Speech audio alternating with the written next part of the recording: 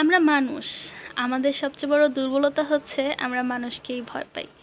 আমাদের সামনে থাকা মানুষটা বা কাছে বা দূরের মানুষগুলো আমাদের আগে পিছে কি বলবে, আমাদেরকে কি ভাববে, তো এই নিয়ে কিন্তু আমরা আমাদের লক্ষ্যে কখনো পৌঁছাতে পারি না। সাফল্য আমাদের কখনোই হাতে আসে না, কারণ আমরা অন্যরা কি ভাববে এই নিয়েই ঘরে মুখ বন্ধ করে বসে থাকি। তো আসসালামু আলাইকুম ভিউয়ার্স, ওয়েলকাম টু নিকাবি আখি ব্লগস। আমি আমাতুল্লাহ শেখ আখি, আবারও আপনাদের কাছে চলে এলাম একটা নতুন ভিডিও ব্লগ নিয়ে। তো আজকের ভিডিওটা হচ্ছে সম্পূর্ণ আউটডোর মানে আজকে বাইরে একটু ব্লগ করতে যাচ্ছি। আর যেহেতু ঈদ এসে পড়ছে, তো কেনাকাটা তো লাগবেই।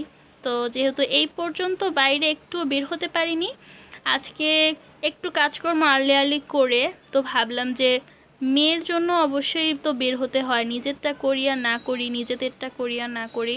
বাচ্চাদেরই কিন্তু ঈদ ওদের জন্যই। যদিও আমার মেয়ে এখন এত ছোট যে ও ঈদ মানে কি এই জিনিসটা এখনও বুঝে নেই। মানে এখনও ওর ব্রেন এটা কাজ করে না যে ঈদ বা কিছু।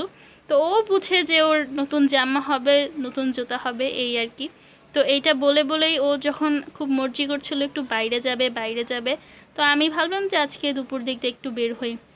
দুপুরে বেরোচ্ছি একদম প্রখর রোদের সময়। কারণটা হচ্ছে ওই সময় যদি মার্কেটে যাই, যেহেতু শনিবার দিন, বেশ একটা ভিড়ভাট্টা থাকবে না, আশা করি। আর সব কিছুই কন্ট্রোলে আছে মানে টাইমটাও ম্যানেজ হয়ে যাবে, যখন সন্ধ্যা হয়ে যাবে। এর আগে আমি ফিরে আসব, যাতে করে আমি ইফতারের আয়োজনটা করতে পারি।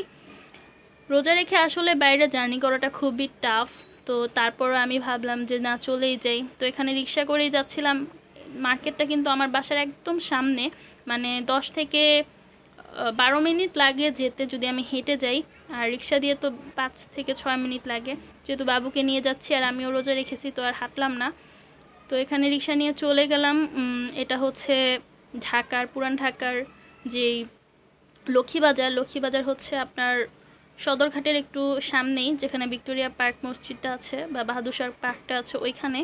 তো ওইখানে আমি সর্বপ্রথম উদ্দেশ্য হচ্ছে মেয়ের জন্য জুতা কিনবো। তো জুতা কেনার জন্য আমি প্রথমে বাটাতে যেতে যাচ্ছিলাম। তো আমি ভাবছিলাম যে একটু ফানি করে আজকে বয়সটা দিব। কিন্তু আসলে সারাদিন পরে এতটা ক্লান্তি লাগছে যে আমার মাথা থেকে এখন কোনো কিছুই বের হচ্ছে না। তো যথাসম্ভব আমি স্বাভাবিকভাবে বলে আজকে ভিডিও ব্লগটা কমপ্লিট করব। তো এই তো বাটায় পৌঁছে গেলাম তো মেয়েকে নিয়ে। আর সর্বপ্রথম বাটায় যাওয়ার একটাই উদ্দেশ্য হচ্ছে না, একটু ঠান্ডা বাতাসে একটু আরাম করা যাবে। তো যেহেতু নেমেছি দেখি যে প্রচণ্ড গরম, তো আমি ঢুকে গেলাম ভিতরে। তো ওই যে আমরা মানুষ, মানুষকে ভয় পাই, তা আমি এখন অতটা স্মার্ট হইনি যে আমি আউটডোরে গিয়ে এতগুলো মানুষের সামনে ভিডিও ব্লগ করব, ওনাদের কিছু জিজ্ঞেস করব বা আপনাদের কিছু জানাব, তো ওরকম কিছুই জানানো হয়, হবে না। আমি বেশি একটা শ্যুট করতে পারিনি। আমি যতটুকু পেরেছি, এরকম হালকা পাতলা করেছি সবার অগচরে। তো আশা করি ভাটার ওরা মাইন্ড করবে না, আর ওদেরকে আমি ফ্রিতে ফ্রিতে প্রমোট করে দিলাম। যাই হোক, আমার জুতা কেনাকাটা কিন্তু অলমোস্ট সেখানে কিন্তু আমার প্রায় এক ঘণ্টা সময় লেগে গিয়েছিল চুজ করতে সাইজ টাইজ সব মিলিয়ে। তো আমি যেহেতু একা গিয়েছি মেয়েকে নিয়ে, আমার এত কিছু কভার করা সম্ভব হয়নি। তো কি জুতা কিনলাম, কেমন কিনলাম, এটা ভিডিও শেষে আপনারা জানতে পারবেন। তো সম্পূর্ণ ভিডিওটা এর জন্য অবশ্যই দেখুন। যেহেতু বাচ্চাদের জুতা, তো বাচ্চাদের জুতোটা আমার কাছে একটু মানে একটু দাম দিয়ে কিনলে একটু কমফোর্টেবল হলে আর ঈদের জন্য একটু সুন্দর হলে কিন্তু সবচেয়ে বেস্ট হয় তো আমি সব কিছু চিন্তা করেই যে একজোড়া জুতা কিনেছি। তো যে জুতাগুলো দেখেছি ওর মধ্যে একজোড়া ছিল। তা আপনারা ভাবলেন যে আবার কি জুতা দেখার জন্য কি আমরা বসে আছি? তা আমি আজকের ভিডিওটা আপনাদের বাচ্চাদের টুকটাক জামা কাপড়ের কিছু আইডিয়া দিব। যদি আপনাদের ভালো লাগে, তাহলে আপনারা কিছু আইডিয়া পাবেন। তো এখানে কিন্তু আমি বাইরেই দেখছি, তো এখানে বেশি একটা স্টল নেই বা শোরুম নেই। তো বাইরেই সব কিছু পাওয়া যায়। সব কিছু ওভারঅল আপনারা দেখেছেন ভিডিওতে। এছাড়াও খুব খুব খুব জিনিস ছিল এখানে যেগুলো আমি কভার করতে পারিনি। তো আমি ভিডিওটা টেনে টেনে দিলাম, তারপরও এর পরবর্তীতে যখন আমি যাব, তখন কিন্তু আমি পুঙ্খানুপুঙ্খিকভাবে সব কিছু আপনাদেরকে দেখিয়ে দিব। তো ওইখানে সব কেনাকাটার পরে আমি এখানে চলে আসছি। তো আমি শুধু আসার জন্যই আছে জিনিসপত্র কিনেছি। আর এটা হচ্ছে এর আগেও আমি দেখিয়েছিলাম যে এখানে একটা স্টল আছে, এরকম মাছের, আমার কাছে খুবই ফেভারিট তো ওইটাও একটু ক্যাপচার করে নিলাম আর কিছুটা সময় মেয়েকে ওগুলো দেখালাম দাঁড়িয়ে দাঁড়িয়ে। মন তো চায় সব কিছু কিনে নিয়ে আসি, তবে আপাতত যা দরকার তাই কিনে নিয়ে আসছি। তো এখানে দেখতে পাচ্ছেন আমি ওর জন্য একটা কিউট ব্যান্ড কিনেছি। তো এটা কিন্তু সিলভার কালার এটা পরলে কিন্তু খুব সুন্দর লাগবে আশা করি। আর আমি কিছু জামাও কিনেছি।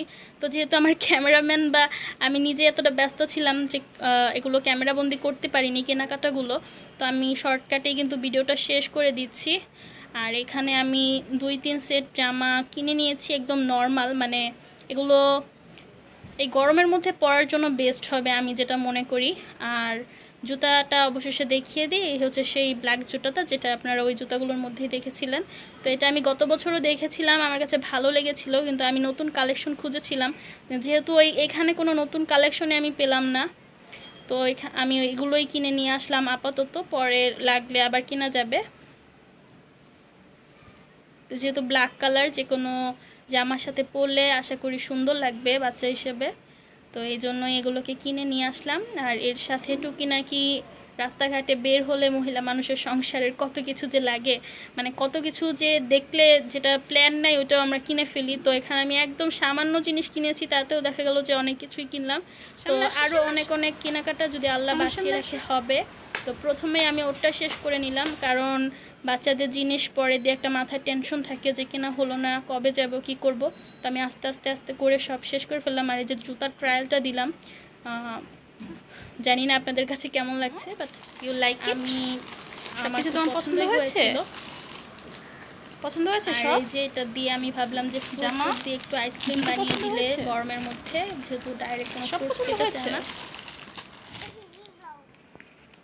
তো যাই হোক, আমি খুব সাধারণ একটা ভিডিও আপনাদের সাথে শেয়ার করলাম। আমি কোনো বড় বড় শপিং মলে যাইনি বা দামি কিছু কিনিও নেই, তেমন কিছু কিনিও নেই। সামনে টুকটাক যাই করি, আপনাদের সাথে শেয়ার করব। আপনারা যাতে বোর না হন জন্য কিন্তু আমি শর্টকাট করে একদম ভিডিওটা টেনে টেনে দিয়েছি একদম ফুল স্পিডে দিয়ে।